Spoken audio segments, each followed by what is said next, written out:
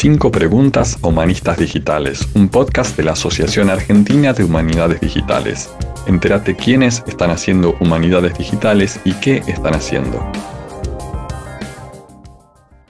Les damos la bienvenida a un nuevo episodio de Cinco Preguntas a Humanistas Digitales. Mi nombre es Jimena del Río Riande y hoy estoy con Ernesto Priani, eh, profesor de la UNAM que nos va a contar un poquitito cómo empezó a trabajar en humanidades digitales. Hola Ernesto, ¿cómo estás? Muy bien, Jimena, gracias. A tus órdenes. Primera pregunta, Ernesto. ¿Cuándo empezaste a trabajar en algo similar a humanidades digitales y por qué? Pues yo empecé a trabajar en algo similar a las humanidades digitales por el 2004, más o menos.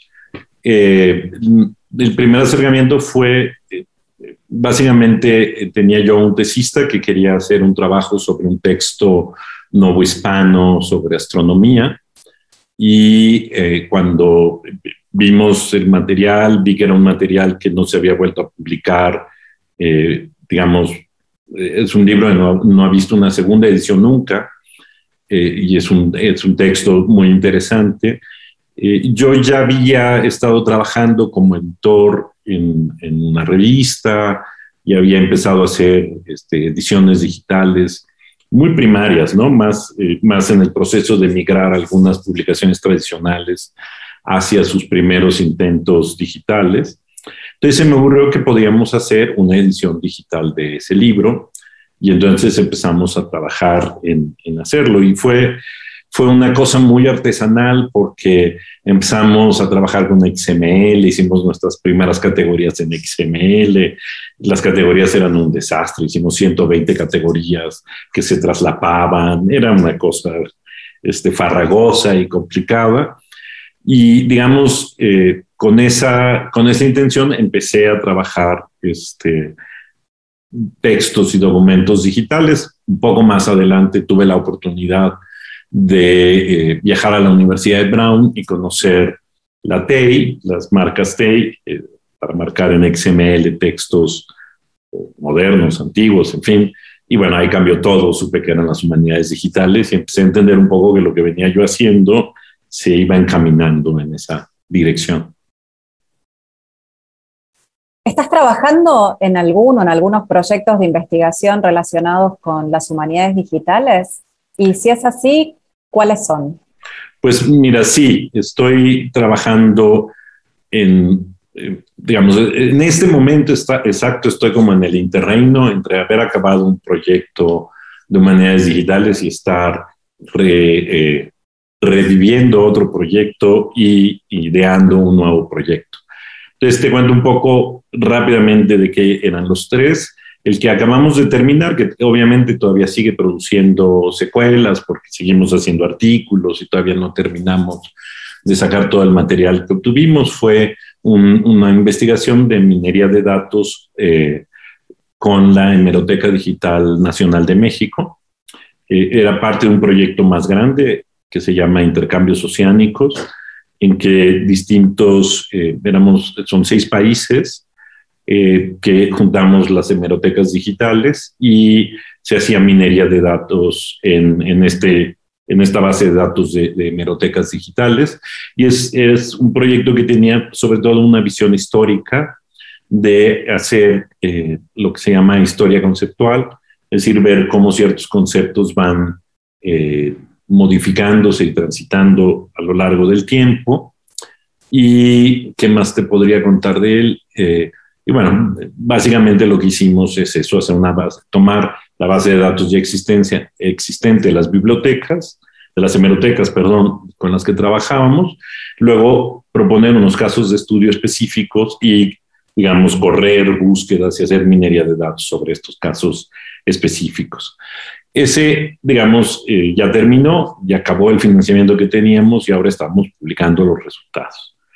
Eh, el otro que estoy tratando de revivir es mi primer proyecto como humanista digital, que es la Biblioteca Digital del Pensamiento Novo Hispano, que digamos en el 2015 nos quedamos sin eh, financiamiento y sin ganas de seguir después de siete años de estar trabajando en la, en la biblioteca. y ahora queremos hacerle una nueva versión, mejorarle algunas cosas. Y a diferencia, digamos, del, primer proyecto, que era un proyecto abierto, que la intención era como no terminarlo nunca, la intención ahora es poderle, poder terminar este, terminar este proyecto.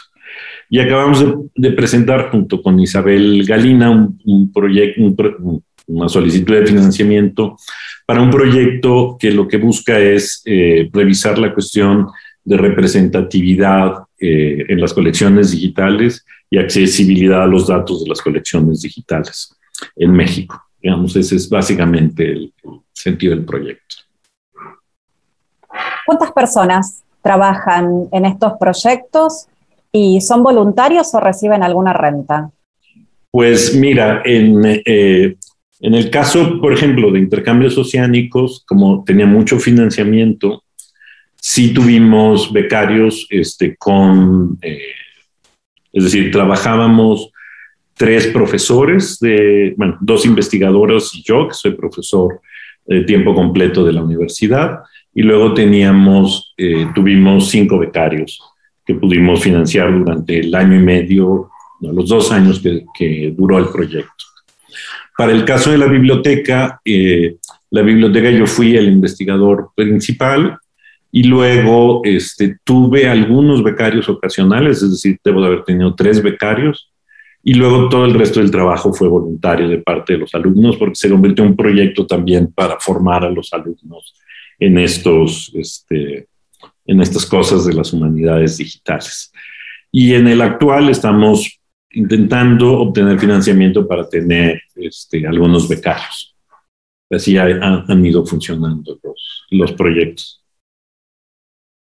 ¿Cuánto cuentan estos proyectos en tu evaluación como docente e investigador? Esa es una muy buena pregunta porque la respuesta es nada o casi nada. ¿no? Porque lo que cuenta fundamentalmente es lo que puedas publicar a partir de los proyectos.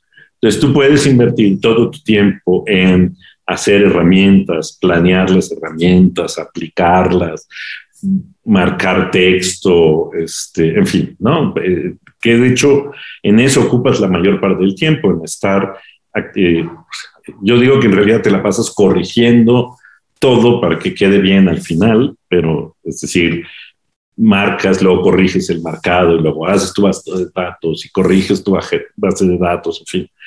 Pero nada de eso cuenta y si de hecho, por ejemplo, en mi caso, publicas toda una biblioteca y sigues publicando la biblioteca, es como si fuera invisible para tu evaluación. Eso no existe. ¿No? Lo que existe es si hiciste un artículo, si publicaste un libro, si, ¿no? Es decir, los formatos tradicionales, lo cual es, francamente, es muy decepcionante es la de las partes más decepcionantes que tiene, porque justo eh, a lo que tú más valor le otorgas, porque es a lo que le dedicas mayor cuidado y más, tiempo, resulta ser que no tiene ningún valor en la, en la evaluación. Y en cambio, lo que, bueno, es como el resultado, porque es lo que te gusta contarle a los demás, de lo que has aprendido, etcétera, eso tiene muchísimo valor y entonces es, es muy extraño. Pero así es, ¿no? ¿Y cómo ves el futuro de las humanidades digitales en tu país y, si querés, a nivel global? Pues, mira, yo estoy en este momento como optimista, en el sentido de que veo que cada vez el grupo que hace humanidades digitales está creciendo, se está volviendo cada vez un poco más sofisticado en el sentido de que ha pasado por una etapa de hacer proyectos como de aprendizaje, hacer proyectos ya de cierto dominio, pues de los de, cómo uno investiga en las humanidades digitales y de cómo aplicas la tecnología y de cómo lo llevas, eh, lo llevas a cabo. Y hemos, eh, digamos, eh, yo he visto cómo, cómo este, digamos, este grupo ha ido creciendo, además volviéndose muy variado, porque al principio éramos como universitarios de cierto tipo de eh, carreras, historia, eh, literatura, como caso muy raro, filósofos, pero bueno, eso es una cosa que ha pasado aquí en México y ahora vemos, por ejemplo, gestores culturales que se dedican a las humanidades digitales, este, vemos antropólogos que se dedican a las humanidades digitales, es decir, que empieza a haber sociólogos, en fin, empieza a haber un, un, interés cada vez, cada vez mayor por eh, las humanidades digitales. Institucionalmente no ha pasado todavía nada, aunque empieza a haber sobre todo universidades privadas que ya tienen posgrados en humanidades digitales, pero a nivel de universidades públicas todavía no aparecen los, los primeros posgrados o este, especialidades en humanidades digitales. Es decir, entiendo que es más fácil en las universidades privadas crearlos, eh, porque el proceso institucional en las públicas es, es sumamente complicado y si no hay, ya sabes, un rector o un alto funcionario que diga, oh, esto es lo, lo máximo y lo de hoy, entonces suele ser muy difícil que pasen cosas. Entonces, soy optimista, moderado, porque siento que a nivel institucional todavía no hay este, algo que haya este, eh, eso, ¿no? abierto la puerta para una forma de institucionalización más, más importante y quizás la única excepción, además de las privadas, es un centro público que es el Colmex, que ya tiene un laboratorio y que ha estado trabajando, pero de nueva cuenta es un poco endeble porque básicamente es porque hay un grupo específico de personas ahí impulsándolo que, este, y, y aunque ya tiene un ropaje institucional más sólido, puede cambiar mañana, no, no, no hay todavía como una gran corriente. Lo cual, digamos, me hace ver muy dispar el futuro de las humanidades digitales. A mí me parece que en los países anglosajones ya son una, híjole, ¿cómo, cómo llamarlo? Como una... Eh, como una producción industrial, lo, dijo Ricardo Pimienta el otro día, pero sí, una producción industrial de humanidades digitales con muy sofisticada, con muchas herramientas, con mucho dinero, con muchos centros de investigación.